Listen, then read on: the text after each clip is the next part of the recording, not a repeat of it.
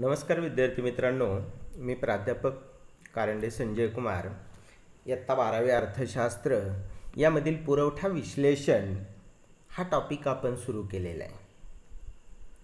काल पुरवठ्याच्या बाबतीमध्ये आप तुम्हाला एक महत्त्वाचा अशा प्रकारचा मी संदेश दिला की आत्तापर्यंत आपण बारावी अर्थशास्त्रामध्ये उपभोक्त्याच्या भूमिकेमध्ये होतो. उपभोक्त्याच्या भूमिकेतून आपण ग्राहकाच्या भूमिकेमध्ये आलो. आणि ग्राहकाची भूमिका पैसा देऊन किंवा पैसे खर्च करून वस्तू खरेदी करणं आणि जर तुम्ही वस्तू खरेदी केल्या तर त्या वस्तूला मागणी निर्माण होते. म्हणजे तुम्हाला पैसा खर्च करणं आवश्यक आहे. आता आपली पै पैसा खर्च करणाऱ्याची भूमिका नाही तर आता आपली सर्वात महत्त्वाची इंटरेस्टिंग भूमिका आहे. आणि ती भूमिका म्हणजे आता आपण पैसा खर्च न करता पैसा मिळवणाऱ्याच्या भूमिकेमध्ये आलेलो आहे हे मी तुम्हाला कालच्या तासाला जाणीवपूर्वक सांगितलेलं आहे. आणि त्यासाठी मी पुरवठा विश्लेषण म्हणजे काय ते तुम्हाला सांगितलं की त्यामध्ये उपयोगिता गरज आणि मग त्यामधून उत्पादन उत्पादन म्हणजे काय? म्हणजे तुम्हाला मी थोडक्यात सांगितलं की उपयोगितेची निर्मिती त्यामध्ये तुम्हाला आकार उपयोगितेचं उदाहरणही तुम्हाला मी कालच्या तासाला दिलेलं आहे. आणि जर लाकडापासून फर्निचर तयार केलं गेलं तर ती फर्निचर एक वस्तू आहे टेबल ही एक वस्तू आहे. आणि अशा वस्तूची निर्मिती करणं त्याला उत्पादन असं म्हटलं जातं. म्हणजे लाकडामध्ये उपयोगितेची निर्मिती हे त्याचं एक उदाहरण सांगितलं उत्पादनाच्या बाबतीमध्ये. मग अशा निर्माण केलेल्या वस्तू आपण काही काळापुरत्या एका ठिकाणी साठवून ठेवतो आणि त्याला आपण काय म्हणतो किंवा ते विक्रीपूर्व आपण काय करतो त्याचा साठा करत असतो स्टॉक करत असतो. म्हणून साठा ही संकल्पना कालच्या तासाला मी तुम्हाला सांगितली आणि त्यानंतर मग अशा साठ्यामधून बाजारामध्ये विक्रीस तयार असलेल्या वस्तूंची नगसंख्या त्याला पुरवठा असं म्हटलं जातं. आणि पॉल सॅम्युल्सन यांच्या मतानुसार तुम्हाला मी कालच्या तासाला पुरवठ्याची व्याख्याही सांगितलेली आहे. की बाजारामध्ये अस्तित्वात असलेल्या किमती आणि विक्रेता विक्रीसाठी इच्छुक असलेल्या वस्तूंची नगसंख्या यातील संबंध म्हणजेच पुरवठा असे म्हटलेलं आहे. म्हणजेच काय? तर विशिष्ट कालखंडामध्ये विशिष्ट किमतीला एखाद्या वस्तूचे किती नग विक्रीस काढलेले आहेत? अशा वस्तूंची नगसंख्या त्याला पुरवठा असं म्हटलं जातं. पुरवठा हा बाजारामध्ये केला जातो. आणि किंमत आली तरच पुरवठा केला जातो. किंमत नसेल तर पुरवठा होणार नाही. कारण उत्पादक आणि विक्रेता याचा मुख्य हेतू आणि उद्देश असतो जास्तीत जास्त नफा मिळवणे. आणि आपली भूमिका आहे ती म्हणजे उत्पादकाची. आता आपण उत्पादकाच्या विक्रेत्याच्या भूमिकेमध्ये आहोत आणि उत्पादक हा उत्पादक किंवा विक्रेता हा जास्तीत जास्त फायदा किंवा नफा मिळवण्याच्या उद्देशानं वस्तूचं उत्पादन करत असतो आणि अशा वस्तू व सेवांची निर्मिती करून तो बाजारामध्ये विक्रीस आणत असतो. म्हणजे त्यालाच पुरवठा असं म्हटलं जातं. म्हणून मी पुरवठ्याची व्याख्या सांगितली आणि त्याचं तुम्हाला एक उदाहरण सांगितलं पुरवठा पत्रक आणि का आजच्या तासाला आपण पुरवठा पत्रक हे पाहायचं आहे साठा आणि पुरवठा याच्यामधला फरक सांगितल्यानंतर आता आपल्याला पुढचा मुद्दा आज पाहायचा आहे तो म्हणजे पुरवठा पत्रक पुरवठा पत्रक म्हणजे काय? तर एखाद्या विशिष्ट वस्तूची किंमत आणि त्या वस्तूची त्या वस्तूचा बाजारामध्ये होणारा पुरवठा यातील कार्यात्मक संबंध ज्या सारणीद्वारे दर्शविला जातो. त्यास पुरवठा पत्रक असं म्हटलं जातं. थोडक्यात म्हणजे काय? तर आता पुस्तकामध्ये दिलेला अर्थ तुमच्या लक्षात आलेला नसावा माझ्या माहितीप्रमाणे. परत एकदा लक्ष द्या की एका विशिष्ट कालखंडामध्ये एखाद्या वस्तूचे किती नग विक्रीस काढलेले आहेत आणि त्या कोणत्या किमतीला वस्तूचे किती नग विक्रीस काढले जातात हे दर्शविणारं पत्रक किंवा हे दर्शविणारी सारणी त्यालाच पुरवठा पत्रक असं म्हटलं जातं. आणि अशा पुरवठा पत्रकाची सारणी तुम्हाला कालच्या तासाला मी सांगितली की क्ष वस्तूची किंमत आणि क्ष वस्तूचा त्या किमतीला होणारा पुरवठा. उदाहरणार्थ दहा रुपये किंमत असताना शंभर नगांचा पुरवठा होतोय. किंमत वाढत गेली दहा वीस तीस चाळीस पन्नास या पद्धतीनं. तर त्या किमतीला होणारा पुरवठासुद्धा शंभर नगांवरून दोनशे तीनशे चारशे पाचशे या पद्धतीनं वाढत जातो. याला पुरवठा पत्रक आणि अशी सारणी म्हणजे त्या किमतीला तो कार्यात्मक संबंध दर्शवलेला आहे की त्या किमतीला एवढ्या एवढ्या नगांचा पुरवठा होतोय. असे दर्शवणारं पत्रक किंवा सारणी त्याला पुरवठा पत्रक असं म्हटलं जातं. आणि त्यानंतर हे पुरवठा पत्रकाचे जे दोन प्रकार आहेत ते दोन प्रकार म्हणजे वैयक्तिक पुरवठा पत्रक आणि बाजाराचं पुरवठा पत्रक मग त्यामध्ये वैयक्तिक पुरवठा पत्रक म्हणजे नेमकं काय? तर बाजारामधील एखाद्या विक्रेत्याने म्हणजे विशिष्ट कालखंडामध्ये विशिष्ट किंमत असताना म्हणजे एखाद्या विशिष्ट काळामध्ये विशिष्ट किंमत असताना बाजारामध्ये जर एखाद्या विक्रेत्याने वस्तूचे किती नग विक्रीस आणलेले आहेत हे दर्शविणारं पत्रक त्याला वैयक्तिक पुरवठा पत्रक असं म्हटलं जातं. जर बाजारामध्ये एखाद्या विक्रेत्याने एक विशिष्ट किंमत आहे समजा दहा रुपये किंमत असताना त्याने बाजारामध्ये शंभर वस्तू त्या किमतीला विक्रीस आणलेल्या आहेत आणि अशा वस्तूंची विक्री करायला तो तयार आहे म्हणजे शंभर रुपये किंमत असताना तो शंभर वस्तूंचे नग विक्रीस आणतोय. आणि जर किंमत जर वाढली तर काय होणार आहे? त्याचा पुरवठा पण वाढणार आहे. म्हणजे त्याला काय म्हटलं जातं? त्याचं ते एकट्याचं वैयक्तिक पुरवठा पत्रक असतं. असा वै बाजारामध्ये एकच विक्रेता असतो आणि त्या विक्रेत्याने वस्तूचे किती नग विक्रीस आणलेले आहेत ते त्या पुरवठा पत्रकामध्ये दर्शविलं जातं. त्याला वैयक्तिक पुरवठा पत्रक असं म्हटलेलं आहे. आपण ते उदाहरण आणि आकृतीच्या साह्याने बघूया. तुम्हाला कालच्या तासाला जे उदाहरण दिलेलं होतं की एक शेव वस्तू आहे आणि त्या वस्तूची दहा रुपये किंमत असताना त्या दहा रुपये किमतीला बाजारामध्ये त्या वस्तूंच्या शंभर नगांचा पुरवठा होतो आहे आणि हे शंभर नग हे त्या क्ष विक्रेत्याने बाजारामध्ये आणलेल्या वस्तू आहेत. त्या शंभर वस्तू आहेत. दहा रुपये. आणि जर समजा किंमत वाढली दहा रुपयावरून वीस रुपये झाली तर तो आपल्या बाजारामध्ये जो तो वस्तू आणत आहे त्याच्यामध्ये वाढ करणार आहे. म्हणजे अशा वस्तूंच्या नगसंख्येमध्ये वाढ होते. मग जर किंमत दहावरून वीस झाली तर पुरवठा देखील काय होतोय? शंभर नगांवरून दोनशे नगांचा होतोय. हा त्याचा एकट्याचा पुरवठा आहे. म्हणून वैयक्तिक पुरवठा पत्रक हे बाजारामधील विक्रेत्याकडून म्हणजे विक्रेत्याकडून विक्रीसाठी आणलेल्या वस्तूंची नग दर्शवि नगसंख्या दर्शविणारं पत्रक किंवा सारणी असतं. आणि ते त्याचं एकट्याचं वैयक्तिक पुरवठा पत्रक असतं. म्हणून त्याला वैयक्तिक पुरवठा पत्रक असं म्हटलं जातं. माझ्या माहितीप्रमाणे तुम्हाला वैयक्तिक पुरवठा पत्रक म्हणजे काय ते समजलेलं असेल. बाजारामधील एका विक्रेत्याने विशिष्ट कालखंडामध्ये विशिष्ट किमतीला वस्तूचे किती नग म्हणजे किंमत कोणत्या किमतीला किती वस्तूचे नग विक्रीस काढलेले आहेत हे दर्शवणारं पत्रक किंवा सारणी हे त्याचं वैयक्तिक पुरवठा पुरवठा पत्रक असतं. त्याचं तेच आपल्याला आकृतीच्या सहाय्याने सांगता येईल. वैयक्तिक पुरवठा पत्रक. बघा या आकृतीमध्ये आ अ य हा एक अक्ष आहे. आणि या अ य अक्षावरती म्हणजे इथं बघा झिरो शिरोबिंदू शून्य तिथून य अक्ष आणि इथून ओ बिंदू म्हणजे शिरोबिंदू तिथून क्ष अक्ष.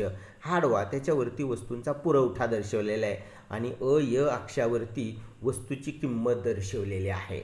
आणि दहा रुपये किंमत असताना वस्तूंच्या शंभर नगांचा पुरवठा होतो आहे म्हणजे किंमत रेषा आणि पुरवठा रेषा जर आपण एकमेकांना जोडली तर आपल्याला प हा बिंदू मिळतो आहे बघा तिथं आकृतीमध्ये तुमच्या लक्षात येते दहा रुपये किंमत असताना शंभर नगांचा पुरवठा ही प हा एक बिंदू मिळाला. याच पद्धतीनं किंमत जर वाढली तर पुरवठा किती नगांचा होतो आहे दोनशे.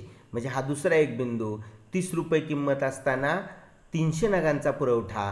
हा एक तिसरा बिंदू. अशा पद्धतीनं किंमत वाढत गेल्यानंतर बघा हा चौथा पाचवा हे प प. हा एक तुम्हाला अशा प्रकारचे हे शिरोबिंदू जर एकमेकांना जोडले तर हा वक्र डावीकडून उजवीकडे खालून वरती गेलेला आपल्याला दिसतोय. आणि तो शिरोबिंदूतून जर जशी किंमत वाढत जाते तस तसा पुरवठा देखील वाढत जातोय. म्हणून बघा मागणी वक्र डावीकडून उजवीकडे वरून खाली उतरणारा असतो. तर पुरवठा वक्र कसा आहे? डावीकडून उजवीकडे खालून वर जाणार आहे. लक्षात आलं?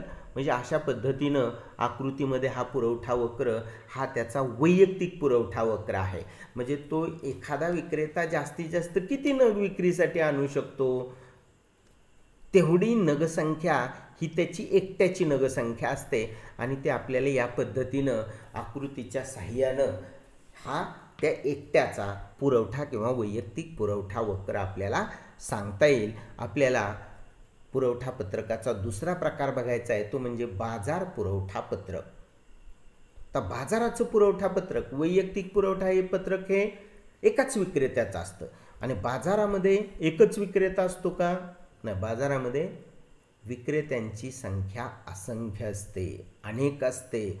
उत्पादक विक्रेत्यांची संख्या अनेक असते आणि अशा सर्व विक्रेत्यांनी बाजारामध्ये विशिष्ट किमतीला वस्तूचे किती नग विक्रीस काढलेले आहेत किंवा आणलेले आहेत हे दर्शविणारं पत्रक किंवा सारणी त्यालाच बाजाराचं पुरवठा पत्रक असं म्हटलं जातं. म्हणजे मी मगाशी सांगितलं वैयक्तिक पुरवठा पत्रक हे एकट्याचं असतं. अशा बाजारामधील सर्व अ ब क ड असे डॅश डॅश म्हणजे जेवढे विक्रेते आहेत अशा सर्व विक्रेत्यांनी मग असं म्हटलं आपण अ म्हणजे एकूण जर आपण बाजाराचा पुरवठा जर विचारात घेतला पुरवठा पत्रक तर बाजाराचा पुरवठा पत्रक बरोबर अ अधिक ब अधिक क अधिक डॉट डॉट आपल्याला म्हणता येईल की जेवढे विक्रेते बाजारामध्ये आलेले आहेत अशा सर्व विक्रेत्यांनी वस्तूचे किती नग विक्रेस काढलेले आहेत हे दर्शविणारं पत्रक किंवा सारणी म्हणजे बाजाराचं पुरवठा पत्रक बाजाराचं पुरवठा पत्रक हे एकट्याचं असेल का? नाही. तर बाजारामध्ये बाजाराचं पुरवठा पत्रक हे बाजारातील सर्व विक्रेत्यांच्या वैयक्तिक पुरवठा पत्रकाचं एकत्रीकरण असतं. हे बघा आपल्याला या पद्धतीनं सांगता येईल. तुम्हाला तुमच्यासमोर आता एक चार्ट दाखवलेला आहे की बाजाराचं पुरवठा पत्रक हे नेमकं काय आहे? तर बघा पहिल्या कॉलममध्ये वस्तूची किंमत दर्शवलेली आहे दहा. आणि त्या किमतीला बाजारामधला अविक्रेता आहे. दुसऱ्या कॉलममध्ये बघा अविक्रेत्याने शंभर नग आणलेले आहेत. ब विक्रेत्याने दोनशे नग आणलेले आहेत. क विक्रेत्याने दहा रुपये किंमत असताना तीनशे नग आणलेले आहेत.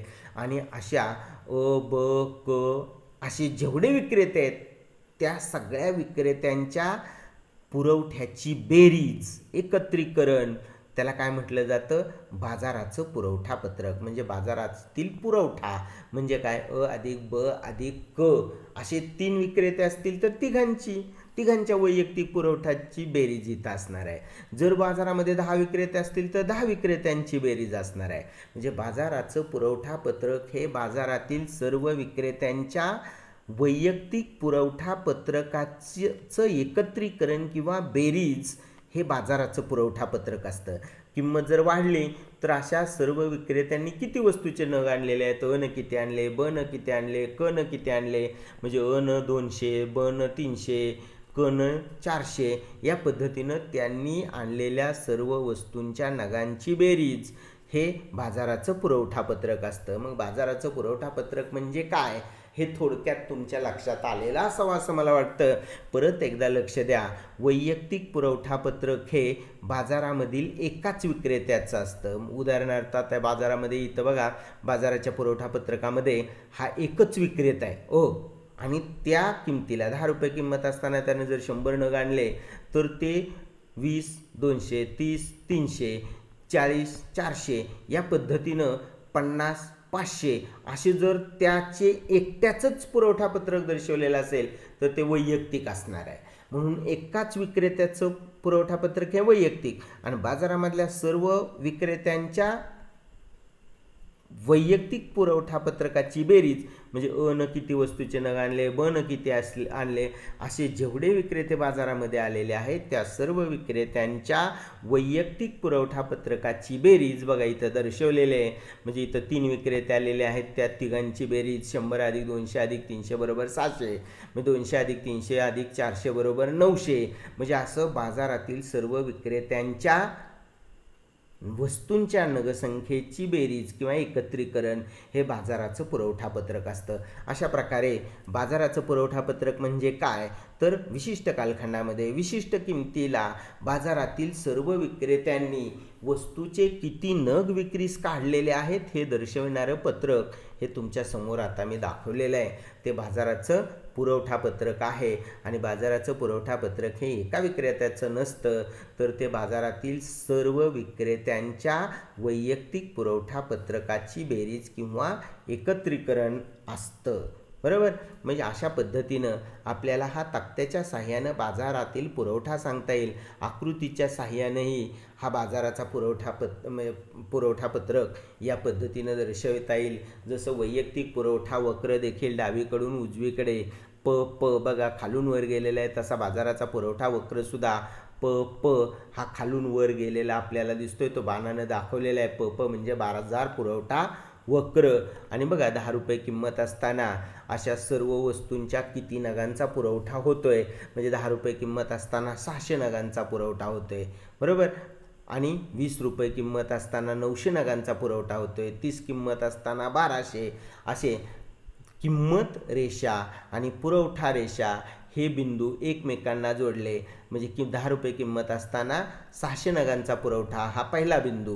वीस रुपये किंमत असताना नऊशे नगांचा पुरवठा हा किंमत रेषा आणि ही आडवी आहे ती पुरवठा रेषा. यांचे बिंदू जर एकमेकांना जोडले तर आपल्याला बाजार पुरवठा वक्र या पद्धतीनं डावीकडून उजवीकडे खालून वर गेल्याचा दिसतो. अशा प्रकारे वैयक्तिक पुरवठा वक्र आणि सॉरी वैयक्तिक पुरवठा पत्रक आणि बाजाराचं पुरवठा पत्रक असे पुरवठा पत्रकाचे दोन प्रकार आपल्याला सांगता येतील स्वतंत्रपणे.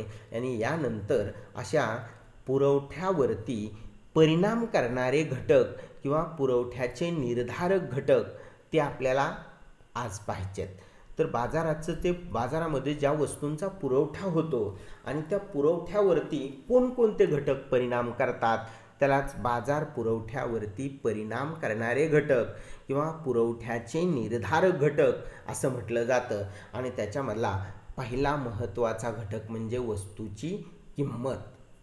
बघा किंमत हा वस्तूच्या पुरवठ्यावरती परिणाम करणारा सर्वात महत्त्वाचा आणि पहिला घटक आहे. याचाच अर्थ काय? जर वस्तूची किंमत वाढली किंवा वस्तूची किंमत जास्त झाली तर त्या किमतीला अधिक नगांचा पुरवठा होतो. आणि जर वस्तूची किंमत कमी झाली किंवा कमी असली तर कमी नगांचा पुरवठा होतो. असं का होतं? की बाजारामध्ये वस्तूची किंमत वाढली की पुरवठ्यामध्ये वाढ होते आणि वस्तूची किंमत कमी झाली की पुरवठा कमी होतो. असं का? याचं काहीतरी कारण असायला पाहिजे. तुमच्या लक्षात यायला पाहिजे की याच्या पाठीमागं काहीतरी कारण असायला पाहिजे. हे मूळ कारण काय आहे? तर उत्पादक आणि विक्रेते. आपण आता कोणाच्या भूमिकेमध्ये आहोत?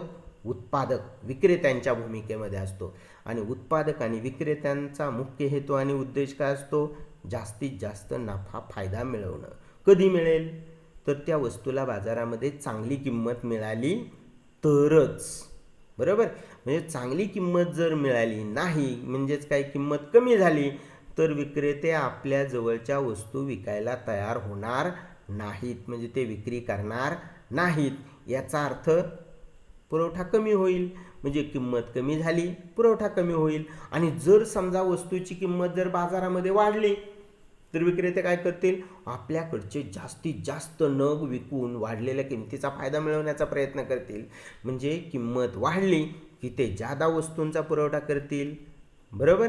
म्हणजे अशा पद्धतीनं किंमत जास्त पुरवठा जास्त. किंमत कमी पुरवठा कमी. म्हणून बाजार पुरवठ्यावरती किंवा पुरवठ्यावरती परिणाम करणारा पुरवठ्याचा पहिला महत्त्वाचा निर्धारक घटक म्हणजे वस्तूची किंमत. आणि तो परिणाम करणारा पहिला घटक आपण पाहतोय. दुसरा घटक म्हणजे तंत्रज्ञानाची स्थिती. हा पुरवठ्याचा दुसरा निर्धारक घटक आहे. मग आता तंत्रज्ञानाची स्थिती म्हणजे काय? जर याचं जर उदाहरण सांगायचं म्हटलं तर आपण वीस वर्षापूर्वीचं एक उदाहरण बघूया की वीस वर्षापूर्वी साधा मोबाईल साधा मोबाईल ब्लॅक अँड व्हाईट आणि आपण हाताने असे बटन दाबाय दाबत होतो. ते मोबाईल आता सध्या आजूबाजूलाही आपल्याला कुठंतरी म्हणजे दिसत नाहीत. आपल्या वर्गामध्ये किंवा आपल्याकडे आता त्या मोबाईलचा उपयोगही नाही. कारण आता आपण ऑनलाईन लेक्चरच्या माध्यमातून स्मार्टफोनचा वापर करतो आहे अँड्रॉइड फोनचा वापर करतो आहे आणि जवळजवळ हे सगळे फोन आहेत ते स्क्रीन टच बरोबर? मग ते जुने जे बटन दाबून आपल्याला जे फोन रिसीव करावे लागत होते असे फोन आता राहिलेले नाहीत. असे फोन ज्याची किंमत वीस वर्षापूर्वी दहा हजार रुपयाच्या आसपास होती. आणि आज परिस्थिती काय झालेली आहे? वीस वर्षानंतर पूर्वी तो मोबाईल फोन दहा हजार रुपयाला मिळत होता. तो आता हजार रुपयापेक्षा कमी किमतीला मिळतोय. म्हणजे वीस वर्षानंतर त्या वस्तूची किंमत वाढायला पाहिजे. आणि आत्ता तर जग बदलत चाललेलं आहे. तंत्रज्ञानामध्ये एवढा बदल झाला आहे की आता प्रत्येकाच्या हातामध्ये स्मार्टफोन आलेले आहेत. आणि हे अँड्रॉईडचे फोन आहेत. आणि त्याची किंमत त्यावेळेस अशा फोनची किंमत पन्नास हजार लाखाच्या आसपास होती. आता किंमत कमी झालेली आहे तरी बाजारामध्ये असे फोन जिकडं तिकडं आपल्याला पाहायला मिळत आहेत तर हा सगळ्यात महत्त्वाचा परिणाम कशाचा आहे? तर तंत्रज्ञानामध्ये झालेला बदल. आणि जर तंत्रज्ञान म्हणजे काय? हा एक आपल्या सर्वांना पडलेला प्रश्न असेल नेमकं टेक्नॉलॉजी तंत्रज्ञान म्हणजे काय? तर तंत्रज्ञान म्हणजे कमीत कमी वेळेत कमीत कमी खर्चात जास्तीत जास्त उत्पादनाची कल्पना. त्याला आपण आयडिया कल्पना असं म्हटलं जात म्हणतो. म्हणजे असं तंत्र की ज्याच्या माध्यमातून आपण कमी खर्चामध्ये कमी किमतीमध्ये जास्तीत जास्त उत्पादन करतो. जर असं नवीन तंत्रज्ञान आलं आणि नवीन तंत्रज्ञानाच्या साह्यानं जर आपण उत्पादन करायला लागलो तर अशा वेळेस काय होतं? बाजारामध्ये त्या वस्तूंचा पुरवठा वाढत जातो. म्हणजे दोन हजार साली दोन हजार एक किंमत जास्त असूनही बाजारामध्ये वस्तू मोबाईलचा पुरवठा होत नव्हता.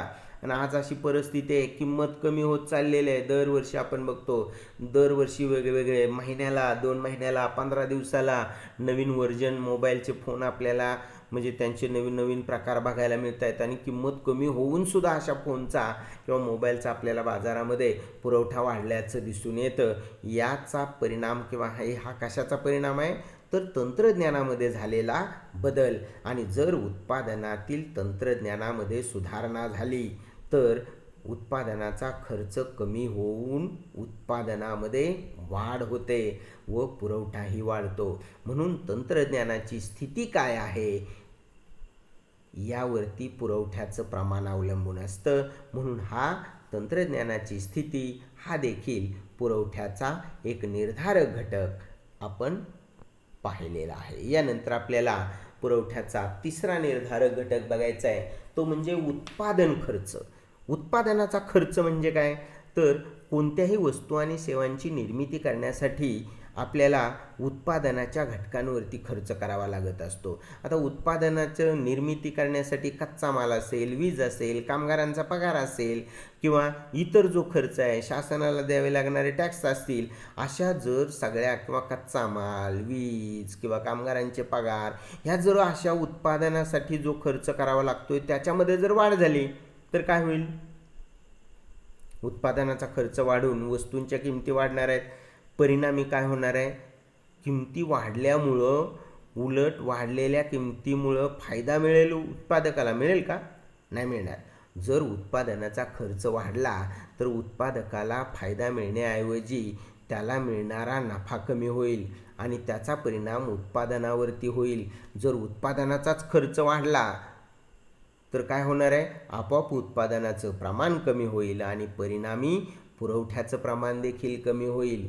आणि जर उत्पादनाचा खर्च कमी झाला म्हणजे वरती पाहिल्याप्रमाणे तंत्रज्ञानाची स्थिती बदलली किंवा नवीन तंत्रज्ञान आलं नवीन मशिनरी आली आणि कमीत कमी खर्चामध्ये जर आपल्याला उत्पादन व्हायला लागलं तर काय होणार आहे?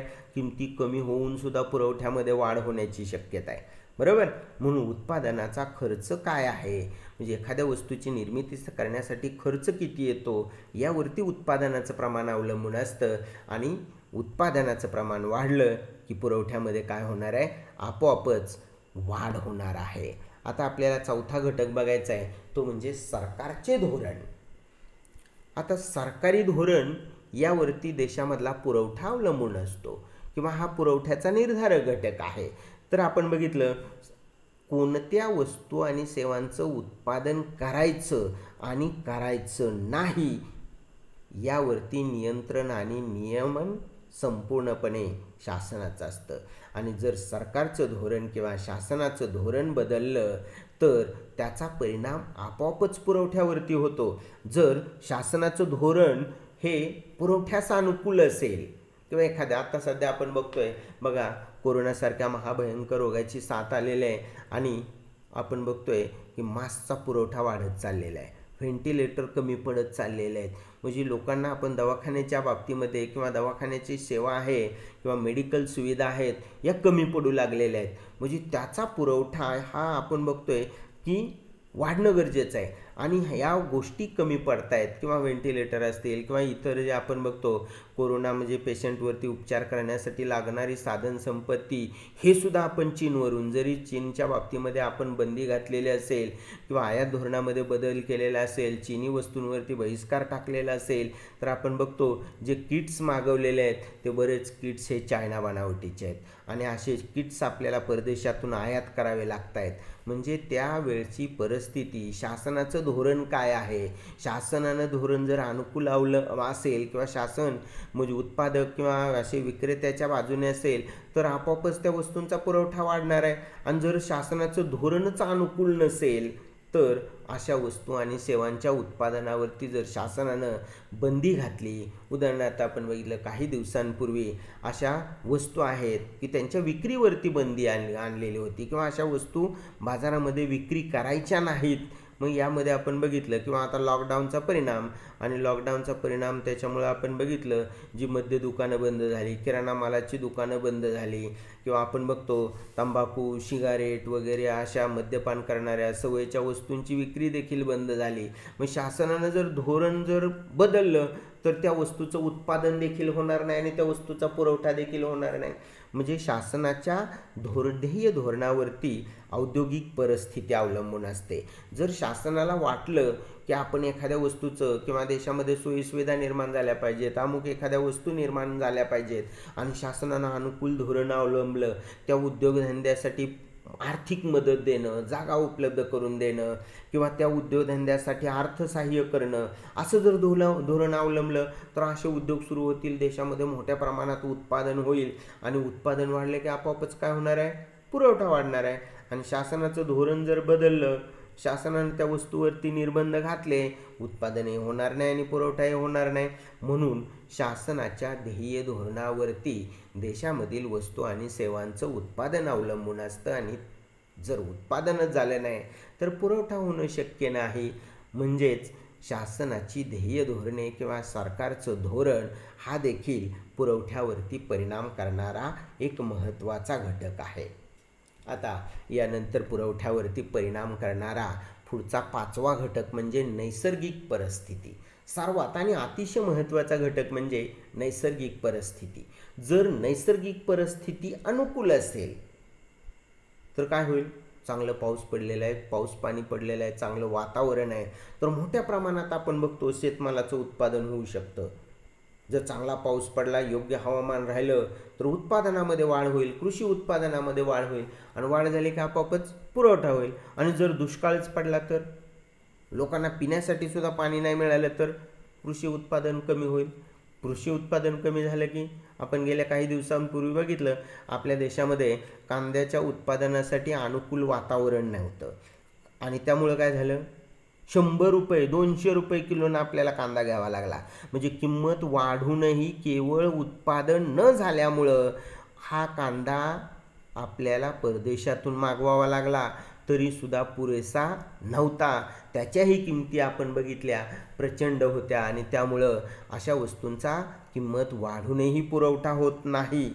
आणि आता परिस्थिती बदलली. गेल्या काही दिवसापूर्वी आपण पासून बघितलं की कांद्याचे दर ढासळायला लागलेले आहेत का?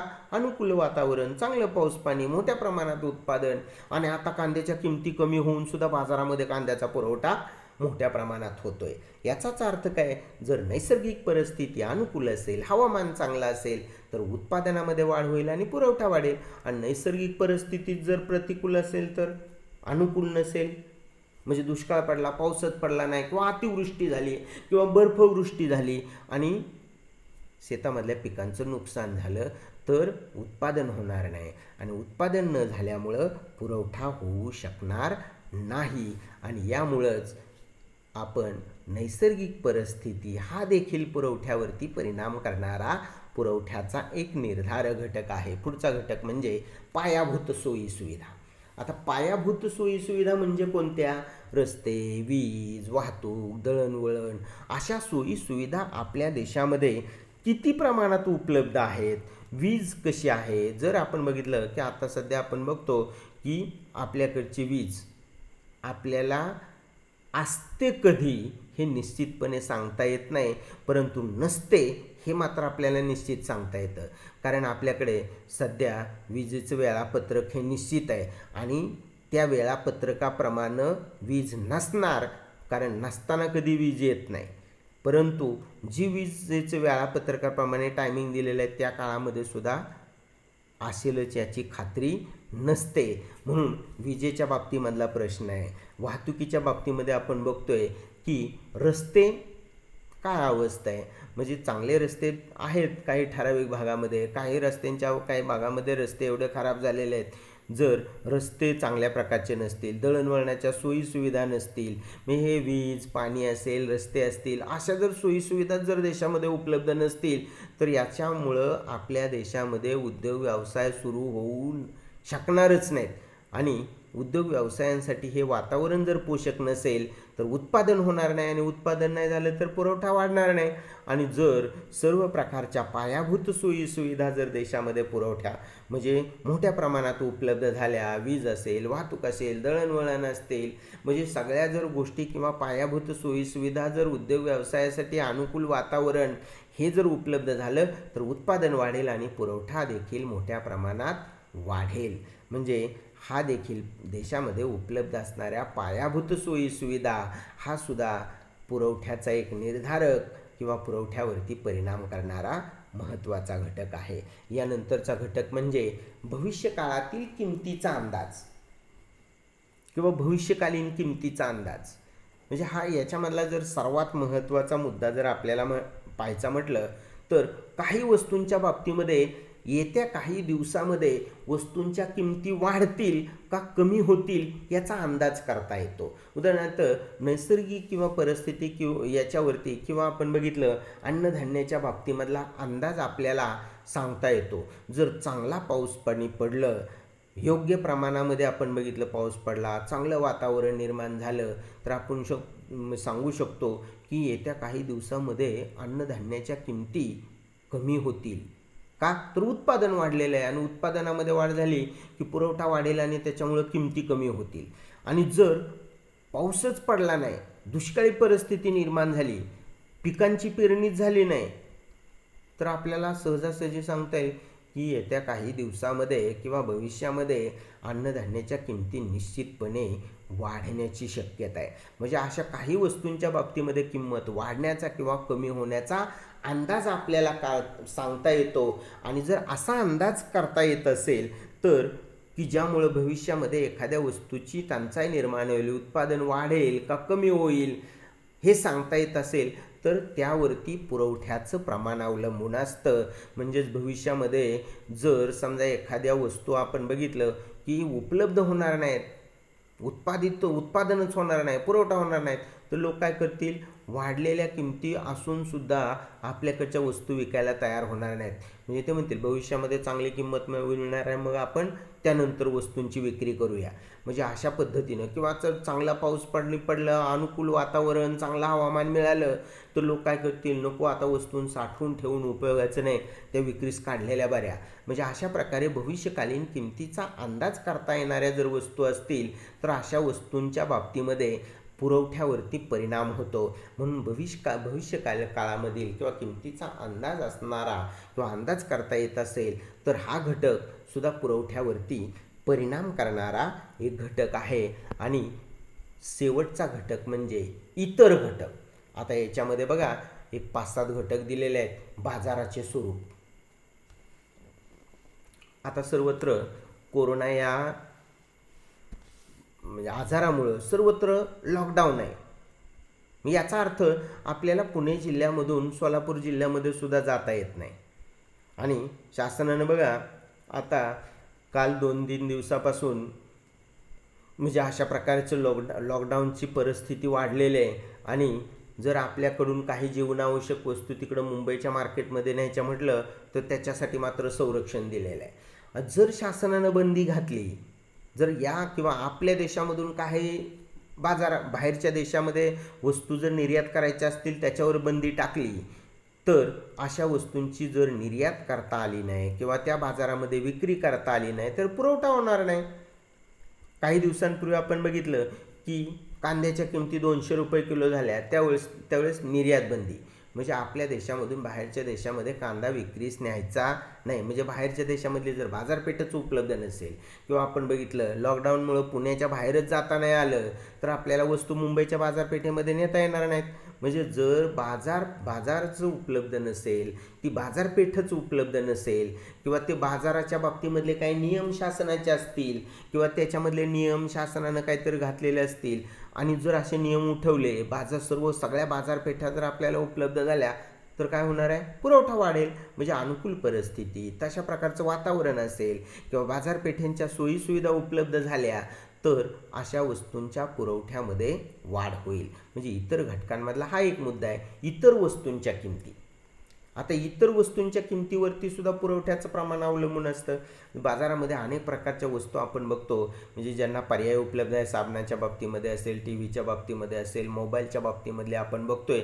तर मोबाईलच्या बाबतीमध्ये गेल्या वीस वर्षापासून सतत वस्तू किमती कमी होत आहेत. टी व्हीच्या किमती होत आहेत पण बाजारामधला पुरवठा मात्र कमी झालेला नाही.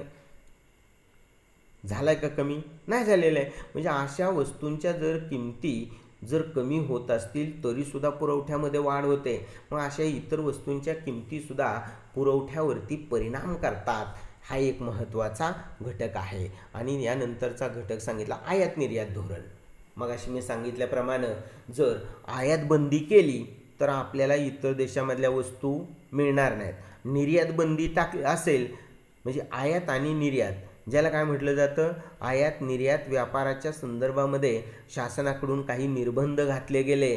तर त्या निर्बंधावरती वस्तूचा पुरवठा अवलंबून असतो. जर निर्यात बंदीच असेल कांदा निर्यात करायचा नाही कांद्यावरची निर्यात बंदी असेल तर आपल्याला परकीय देशामध्ये कांद्याची विक्री करता येणार नाही पुरवठा होणार नाही. आणि जर निर्यात बंदी उठवली आणि शासनानं सांगितलं की बाहेरच्या देशामध्ये कांदा विक्रीसाठी अनुदान दिलं म्हणजे उदाहरणार्थ आता बघा आजचा दुधाचा संप आणि दुधाच्या संपाच्या बाबतीमध्ये त्या शेतकऱ्यांची मागणी आहे की काय मागणी आहे?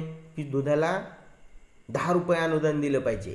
म्हणजे दुधाला दर दहा रुपये वाढवून दिला पाहिजे शासनानं प्रत्येक शेतकऱ्याच्या खात्यामध्ये. जर असा जादा भाव मिळाला तर लोक जादा दुधाचं उत्पादन करतील जादा पुरवठा होईल. आणि आता सांगितलं की परदेशामधून दुधाची पावडर पण आयात करायची त्याच्यावरती पण निर्बंध घाला. जर ते निर्बंध घातले आणि पावडर जर नाही आली तर आपल्या देशामधल्या दुधाला चांगला दर मिळेल आपल्या देशामधल्या पावडरला दर मिळेल. किंवा त्याच्या माध्यमातून सांगितलं की काय नाही आयात करण्याऐवजी उलट पावडर निर्यात केली पाहिजे बाहेरच्या देशांना. तर आपल्या देशामधून बाहेरच्या देशामध्ये पुरवठा होईल. म्हणजे शासनाचं आयात निर्यात विषयक किंवा व्यापारविषयक धोरण काय आहे याच्यावरती देखील पुरवठ्याची परिस्थिती अवलंबून असते म्हणून हा पण एक पुरवठ्याचा निर्धारक घटक आहे. दुसरा औद्योगिक संबंध. आता औद्योगिक संबंध वातावरण म्हणजे आपण विजेचा प्रश्न असेल पाण्याचा प्रश्न असेल किंवा आपण बघतो शासनाच्या बाबतीमध्ये असेल किंवा देशामधले काही युद्धजन्य परिस्थिती असेल कोळशाची उपलब्धता असेल किंवा कच्च्या मालाच्या बाबतीमधले प्रश्न असतील आणि या सगळ्या जर गोष्टी अनुकूल असेल तर उत्पादन वाढेल पुरवठा वाढेल. आणि यामध्ये विजेचा प्रश्न निर्माण झाला कोळशाचा प्रश्न निर्माण झाला किंवा आपण बघितलं शासनाच्या ध्येय धोरणामध्ये बदल झाला त्याच्यामुळं जर औद्योगिक परिस्थिती बिघडली तर आता सध्या आपण बघतोय की औद्योगिक परिस्थिती बिघडलेली आहे. कारण कोरोनामुळे बऱ्याच कंपन्या बंद आहेत उत्पादन कमी आहे आणि उत्पादन न झाल्यामुळं बाजारामध्ये पुरवठा होत नाही आणि त्याच्यामुळे वस्तूच्या किमती वाढत आहेत. म्हणजे अशी औद्योगिक परिस्थिती बिघडली तर उत्पादन होणार नाही आणि पुरवठाही होणार नाही म्हणून औद्योगिक संबंध किंवा परिस्थिती हा देखील उत् पुरवठ्याचा एक निर्धारक घटक आहे. उत्पादन घटकांची उपलब्धता. कोणत्याही वस्तू आणि सेवांचं उत्पादन करण्यासाठी कच्चा माल पाहिजे? म्हणजे उत्पादनाचा पहिला महत्त्वाचा घटक म्हणजे भूमी श्रम दुसरा भांडवल तिसरा आणि संयोजक हे उत्पादनाचे घटक आहेत. मग उत्पादनाच्या कार्यासाठी आवश्यक असणारे निर्मितीसाठी आवश्यक असणारे घटक नैसर्गिक साधन संपत्ती पुरेशा प्रमाणामध्ये उपलब्ध पाहिजे. पाणी असलं पाहिजे वीज असलं पाहिजे रस्ते असतील हे सगळे उत्पादनासाठी आवश्यक असणारे घटक अनुकूल असतील पुरेशा प्रमाणात उप उपलब्ध झाले तर उत्पादनामध्ये वाढ होईल. आणि उत्पादनामध्ये वाढ झाली की पुरवठ्यामध्ये वाढ होईल. आणि जर हे घटक पुरेशा प्रमाणात नाही मिळाले तर उत्पादन होणार नाही आणि पुरवठाही होणार नाही. अशा प्रकारे हे सर्व घटक जे पुरवठ्यावरती परिणाम करणारे घटक आहेत म्हणून यालाच पुरवठ्याचे निर्धारक घटक असं म्हटलं जातं.